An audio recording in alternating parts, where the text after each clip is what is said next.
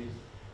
В рамках заседания Координационного молодежного совета Магадана участники обсудили урбанистику. Главным стал вопрос, как современный человек может повлиять на городскую среду. Парк «Маяк», реконструкция скверов и многое другое. Почему и как реализовали именно эти проекты? Обратная связь с жителями недостаточно налажена, а молодежь – основной двигатель мнений и активности. Проблема очень двоякая. Э, Прежде всего, конечно, активность проявляет именно молодежь, э, в том числе учащиеся молодежь, студенты, молодые архитекторы, строители, проектировщики.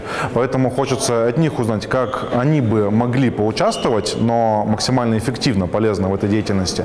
И вообще, насколько имеет практическую пользу именно включение э, молодежи в обсуждение таких про- проблем, э, таких а, будущих проектов и каким образом этот механизм можно наладить таким образом, чтобы всем было комфортно работать, чтобы э, проектировщики, архитекторы не вникали в миллион комментариев о том, как это плохо надо делать по-другому, а что действительно был толк, была максимальная польза. Есть разные идеи, как агрегаторы э, проектов, идей молодежных, так и просто открытые площадки для обсуждения. Э, сегодня задача нашего совета – это именно выявить максимально удобные формы, а также создать такую небольшую э, тематическую площадку с формой обратной связи, в которой молодежь именно максимально заинтересована, это именно специалисты технических специальностей, которые могли бы задать напрямую вопрос архитекторам, урбанистам, первым лицам города, которые максимально имеют полную информацию о текущих будущих проектах.